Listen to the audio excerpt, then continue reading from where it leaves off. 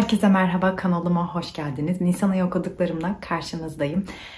Bu ay 18 tane kitap okudum ve bunları size Smash or Pass şeklinde yorumlayacağım. İlk olarak Kusursuz Hayatlar. Kitabın konusundan şu şekilde bahsedebilirim. Bir gün en yakın arkadaşınızla ruhlarınız yer değiştirse ve imrendiğiniz hayatları yaşamaya başlasanız ne mi olur? Çok tatlı bir romantik komedi. Smash.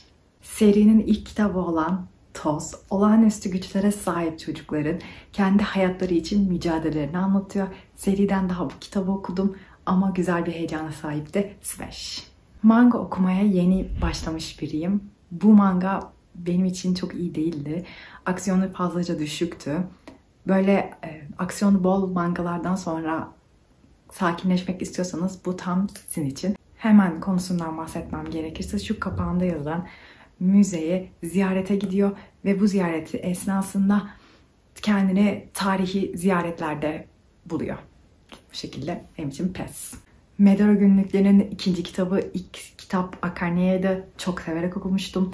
Harry Potter ve Garnier günlüklerini seviyorsanız kesinlikle bayılarak okuyabileceğiniz bir seri olduğuna inanıyorum bunun. Konusundan hemen bahsetmem gerekirse ilk kitaptan alarak bahsedeceğim.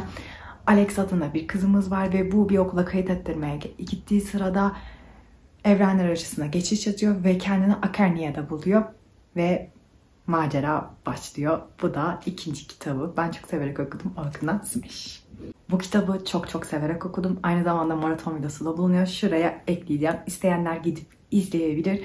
Konusundan hemen bahsetmem gerekirse bir kadın var. Kadın oğlunu bekliyor ve o sırada oğlunun cinayet işlediğini görüyor ve bu durumdan oğlunu kurtarmak istiyor ve bu şekilde bir anda geçmişe doğru yolculuk etmeye başlıyor ve durumu çözene kadar geçmiş yolculuğunun içerisinde kendini kaybediyor. Gerçekten çok iyi bir kitaptı. Kesinlikle tavsiye ediyorum. Smash. İsminden dolayı bu kitabı neden okudum ya tarzı yorumlar aldığım, benim severek okuduğum yazar olan Mehmet Yıldız'ın kitabı. Kitabın adının sebebi tamamen dikkat çekme. İçerisinde dini bilgilerin bulunduğu harika bir kitap olduğunu düşünüyorum ve. Tam bir fantastiğe giriş kitabı. Kitabın adına baktığınız zaman diyebilirsiniz ki artı 18 asla öyle bir şey yok. Artı 12 ya da artı 13 diyebilirim kitabı için. Kitabın konusundan bahsetmem gerekirse ana karakterimiz kız ailesini mirasını kurtarmak için ejderhalarla dövüşmeyi öğreniyor ve bu sırada yaşadıklarını ele alan bir kitap bence Smash. Benim gibi bir Marvel severseniz bu kitabı kesinlikle okumalısınız. Özellikle Black Panther'in son filminden sonra gözlerim yaşlı yaşlı okuduğumu söyleyebilirim. Konusundan hemen bahsetmem gerekirse T'Challa'nın kız kardeşi olan Shuri'nin yani prensesin Wakanda'yı kurtarmak için yaptığı şeyleri anlatıyor. Kitapta T'Challa hayatta. Ve size son olarak şunu göstermek istiyorum. Bir Wakanda haritası da bulunuyor. Kitap Smash. Peri Diyarı serisinin ikinci kitabı olan Kayıp Kraliçe. Tamamen fantastiğe giriş kitabı. Artı 10 diyebilirim kitap için.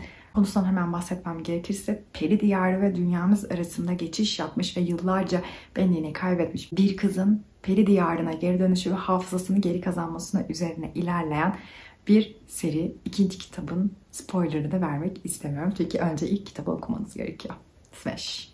Ama Gitme Lovina 2. İlk kitabını çok severek okumuştum. Duran bir kitap olmasına rağmen beni içine almıştı ve yaşamıştım. Konusundan hemen bahsetmem gerekirse ana karakterimiz kız kendi yazdığı romanı bastırmaya karar verir. Ve bunun için bir e, yayın eviyle görüşmeye başlar. Yayın evinin editörüyle aralarında şeyler olmaya başlar. Bunun üzerine ilerleyen bir örgü. Daha fazlasını söylemeyeceğim. E, ilk kitap daha iyiydi diyorum. Bu kitap benim için maalesef pes. Korku Avcısı. Eğer psikolojik gerilim seviyorsanız bu kitap kesinlikle kitaplarınızda bulunmalı. Efsaneydi. Konusundan bahsetmem gerekirse kurbanlarını en büyük korkularıyla öldüren bir seri katil hikayesi ve bu seri katil olayını çözebilmeleri de kitapta saklı. Söylemeyeceğim. Spoiler vermeyeceğim. Efsaneydi. Smash. Güç ve intikam fantastik severlerin kesinlikle okuması gereken bir kitap olduğunu düşünüyorum. Bir serinin ilk kitabı ve tamamen seriye giriş kitabı. Ben çok bayılarak okudum. Aynı zamanda maraton videosu da bulunuyor hemen şuraya koyuyorum. Konusundan hemen bahsetmem gerekirse parçalanmış bir imparatorlukta ortak bir amaç uğruna kaderleri birleşen iki gencin maceraları. Smash. Japon edebiyatından okuduğum ilk kitap Naomi Bir Aptalın Aşkı. Okurken çıldırdım. Üç gün boyunca Japon edebiyatı okuyorum. Videosunda da tepkilerimi görebilirsiniz. Hemen şuraya ekliyorum. Kitap güzeldi bence. Uzun paragrafları sevdiğim bir kitaptı. Hemen konusundan bahsetmem gerekirse kendisinden yaşça bir küçük kıza tutulan ve onu eş olarak alan adamın yaptığı hatalar, kızın onu kullanması. Ancak bu şekilde söyleyebilirim. Smash. Serinin kitaplarını tek tek almak istemedim. Hepsini tek bir şekilde yorumlayacağım. Korku polisiye türünde okuduğum güzel kitaplardan biriydi. Tamamen bu tarzda okumak istiyorsanız giriş kitabı olarak söyleyebilirim. Aynı zamanda seriye bir maraton videosu da çektim. Onu da şöyle koyuyorum izlemek isteyenler için. Serinin konusundan bahsetmem gerekirse bir beyaz evimiz var ve işlenen tüm cinayetlerin seri boyunca bu eve bağlanması üzerine Smash. Beni kandıramazsın okuduğum en iyi gerilim romanlarından biriydi. Her bölümde sonunda ağzım açık kaldı diyebilirim. Konusundan bahsetmem gerekirse kadının kocası ölüyor ve kocası öldükten sonra arka arkaya aile sırları ortaya çıkmaya başlıyor ve kadın bunlar üzerine yoğunlaşıyor. Kafayı yiyip yemediğini çözmeye çalışıyor. Smash. Son olarak Dünyalılar. Bu kitap beni çok arada bıraktı. Başta sevdim sonra sevmedim. Çok absürt bir tarzı var. Bu nedenle çok emin değilim düşüncelerimde. Konusundan hemen bahsetmem gerekirse kendilerinin cadı ya da uzaylı olduğuna inanan çocukların dünyaya tam adaptasyon yaşayamamasıyla ilgili bir kitap.